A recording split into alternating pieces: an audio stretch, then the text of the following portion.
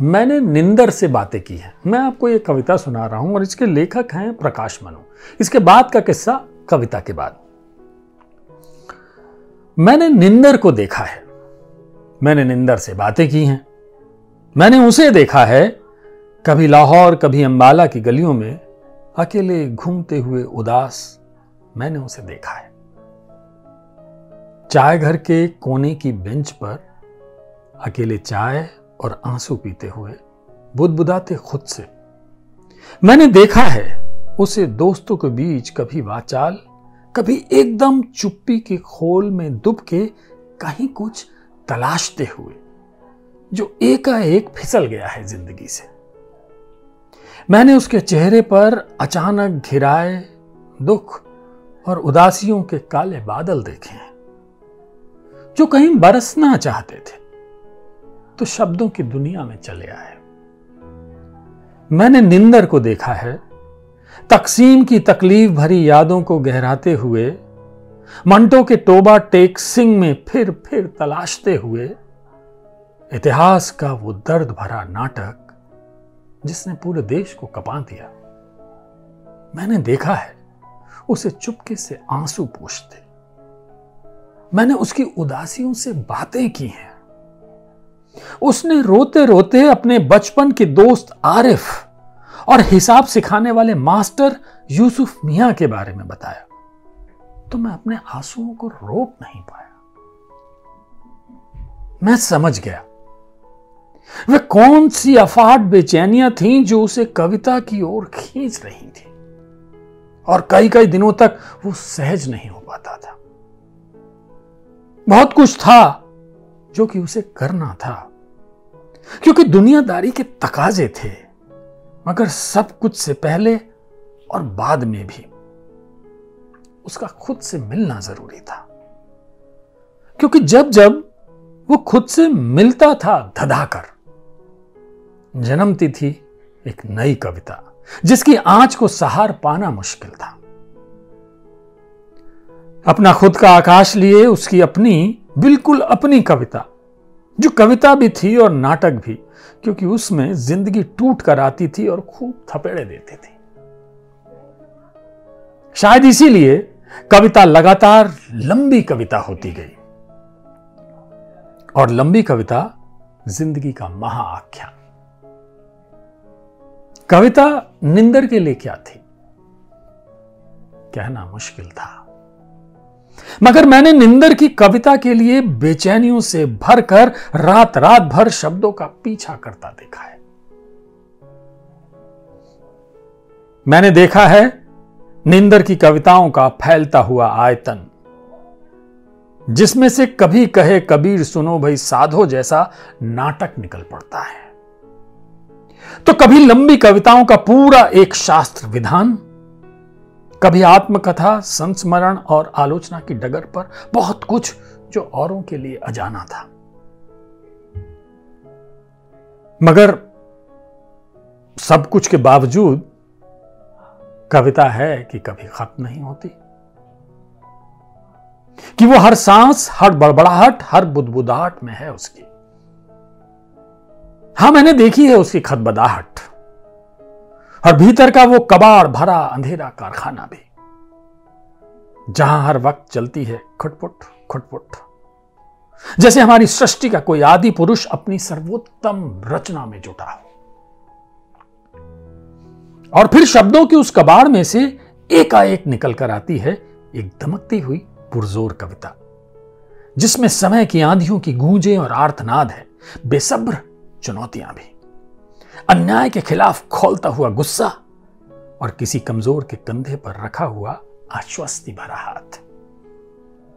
मन और इरादों की गर्माहट से भरा वो हाथ, जो कुछ नहीं कहता, पर भीतर की चुप्पियाँ कह देता है कि हाँ, मेरे दोस्त, मेरे प्यारे भाई, मेरी हर कविता तो तुम्हारे लिए ही है।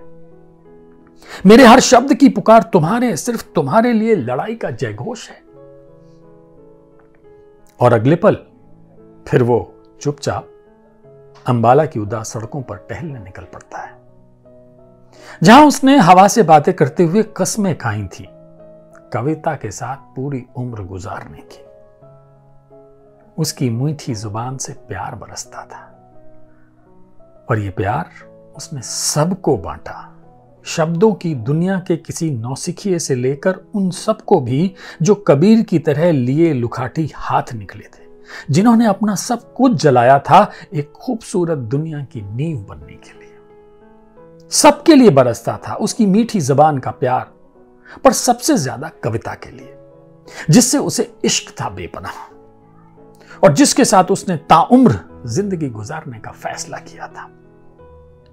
मैं जब जब उसे पढ़ता था मैं जब जब उससे मिलता था, मैं जब जब उससे बातें करता था, फ़ोन पर सुनाई देती थी, जब भी उसकी शहद घुली दोस्ताना आवाज़, मैं उसका हाथ पकड़े, लाहौर और अंबाला की उदास सड़कों पर भटकने निकल पड़ता था। जहाँ उसके कच्चे किशोर कदमों की शिनाख्त के साथ ही मुझे मिल जाता था करवटें लेता एक सपना, और एक जुनून भी जो उम्र भर उसके साथ रहा, शब्दहीन बेचैनियों की शक्ल में। कल रात जब लिखने बैठा उस पर चंद सतरें, कुछ आड़ी तिरछी सी, मेरे कदम फिर अंबाला की सड़कों पर निकल गए। वहाँ एक कॉलेज के सामने चाय घर में वो बैठा था। हाथ में एक किताब लिए किताब खुली थी, पर आँखें उसकी चाय घर की दीवारों के पार किसी अंतहीन आकाश को टटोल रही थी। मुझे देखकर वो उठा। मिलाया हाथ और जब चलने लगा तो उसने मेरी आँखों में देखा बड़े विश्वास से। अभी तो बहुत कुछ लिखना है मेरे दोस्त। अभी बहुत कुछ अधूरा है। जिसे पूरा करना ही चाहता हूँ जाने से पहले उसने कहा। हाँ, होगा। वो ज़रूर होगा पूरा निंदर। मैंने उसके कंधे पर रखा हाथ यकीन से। उसने अपने हाथों में मेरा हाथ लिया और हम विदा हुए। रात सोने से पहले मैं फिर से सोच रहा था। निंदर से अपनी ताज़ा मुलाकात के बारे में, कि तभी भाई नरेंद्र मोहन का फ़ोन, मनु जी कैसे हैं? शब्दों में जैसे झर रही हो मिठास। अच्छा हूँ अभी अभी निंदर से मिलकर लौटा हूँ, कहा मैंने तो हंसे। खूब हंसे नरेंद्र मोहन। इतनी ज़ोर की हँसी कि उसका प्रकंप मेरे मोबाइल को भी थरथरा रहा था। हँसते रहे थे। हंसता रहा मैं भी देर तक। हँसी का एक समुद्र था वो, जिसमें खो गए थे वे। मैं भी खो गई दिशाएँ तलक। बच रहा था बस निंदर। उसी तरह लाहौर, दिल्ली और अंबाले की सड़कों पर घूमता हुआ उदास। उसे पूरी करनी थी अभी कई अधूरी पड़ी कविताएँ और मंटो के टोबा टेक्सिंग पर कोई ऐसा दर्द भरा आख्यान जिसे चाहकर भी अब तक वो लिख नहीं पाया था। लेकिन जाने से पहले उसे ज़रूर पूरा कर जाना चाहता था। ये कविता प्रकाश मनु ने लिखी है। बहुत बड़े साहित्यकार हैं, लेखक हैं। और ये अगर आपने इसको पूरा सुना होगा तो समझ गए होंगे, उन्होंने अपने दोस्त नरेंद्र मोहन के लिए लिखी, जो नरेंद्र मोहन खुद भी बहुत बड़े लेखक, कवि, साहित्यकार रहे हैं। कुछ वक्त पहले उनका निधन हो गया था और अपने उसी दोस्त को याद करते हुए उन्होंने बेहद मार्मिक कविता लिखी है। इस कविता से आप समझ सकते हैं कि इसमें विभाजन का दर्द है, पीड़ा है, तकलीफ़ है, दोस्त का बिछो है और उसकी छटपटाहट है, जो वो लाहौर छोड़कर आया है अम्बाला में रहता है और दिल्ली में भटकता है। किस तरह उन्होंने इसको समेटा है? तो बहुत खूबसूरत कविता थी।